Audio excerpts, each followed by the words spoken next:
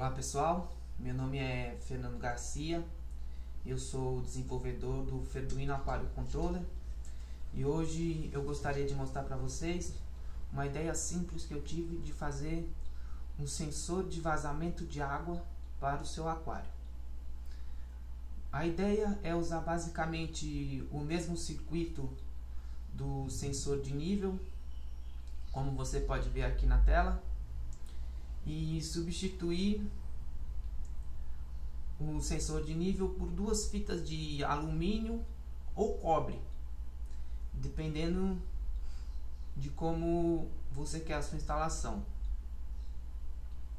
Para aquário de água salgada, eu não tenho certeza se é uma boa ideia usar uma fita de cobre como esta que vocês podem ver aqui porque pode ter problema pra, com corrosão por causa da água salgada.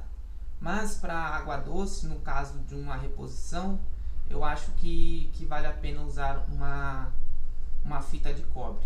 Já para água salgada, eu acho que a melhor ideia mesmo seria usar um, uma fita de alumínio como esta, colada ao redor do local onde se quer fazer o monitoramento.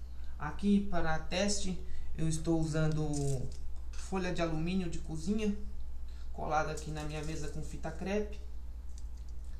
Mas o ideal seria essa que você pode ver na tela, esse modelo que você pode ver na tela. É, essas fitas que você pode comprar, que elas já são autoadesivas, que dá um acabamento melhor.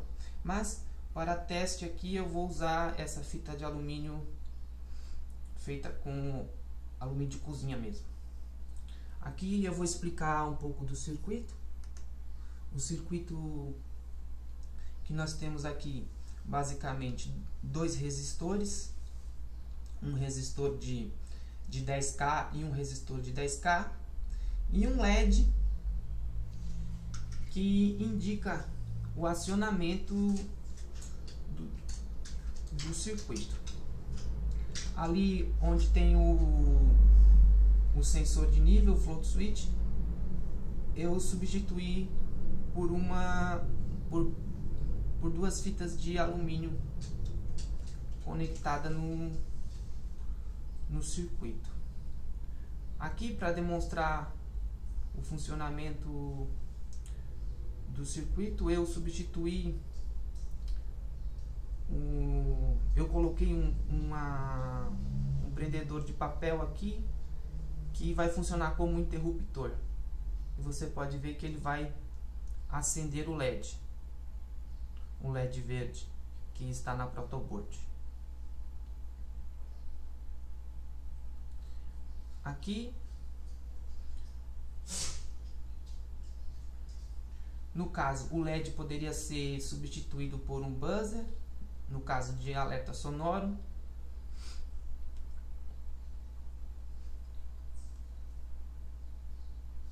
E aqui agora, depois de montado o circuito conforme você vê aqui no esquemático, você precisa aí abrir um exemplo do básico aqui, Analogy Head Serial, para poder analisar como está o funcionamento do seu circuito.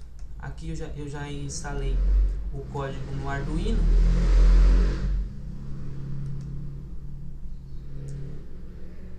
E aqui temos a leitura da porta serial com a fita seca.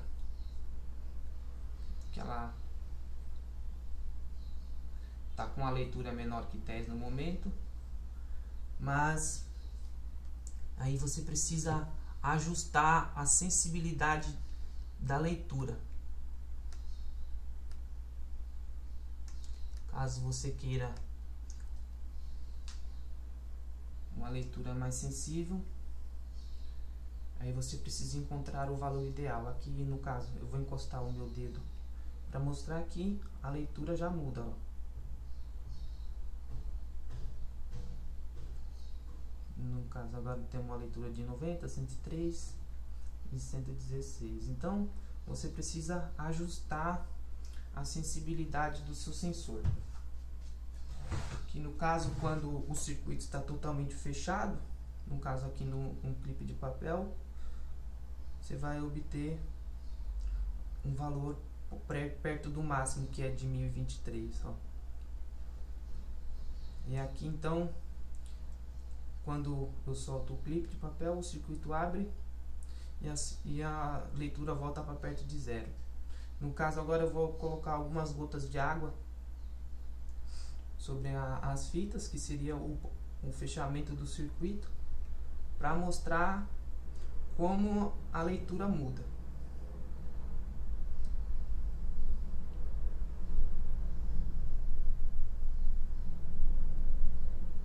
Aqui eu tenho uma gota d'água, a leitura já passou para 140, no máximo de 140 de pico.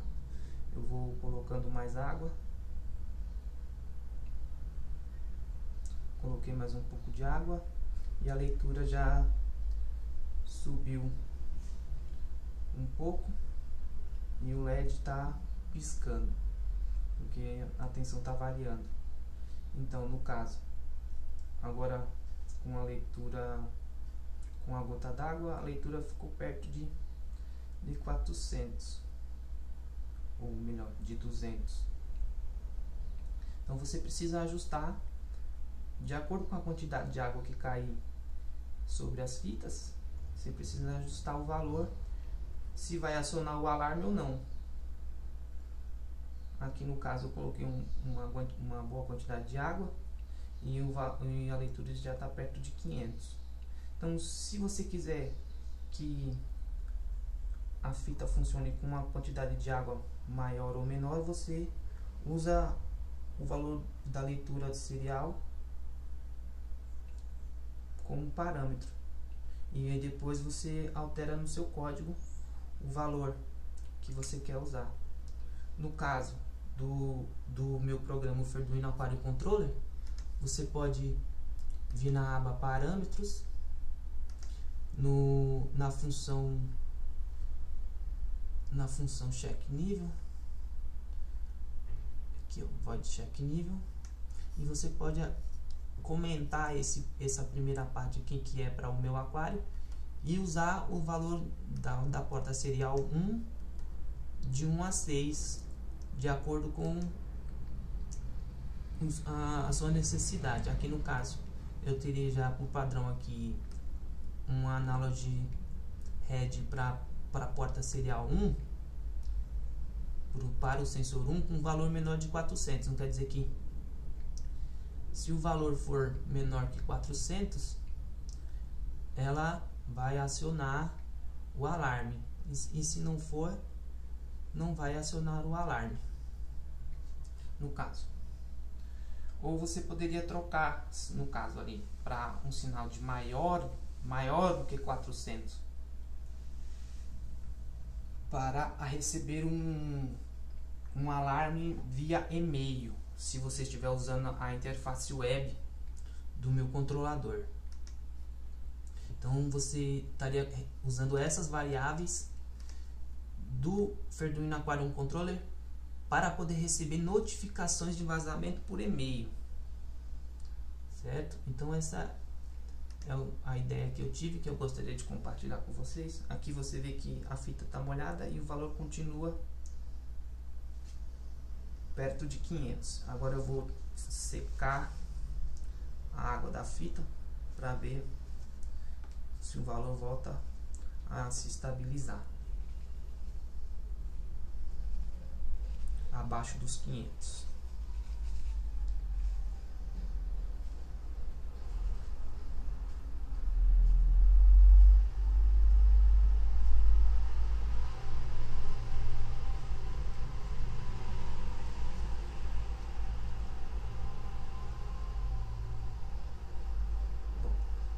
Agora já dei uma secada aqui na, na fita e você pode perceber que o valor já foi para perto de 200. Então, no caso, se você tivesse com um valor de parâmetro de 400, o alarme já não seria acionado com essa leitura que está sendo realizada agora.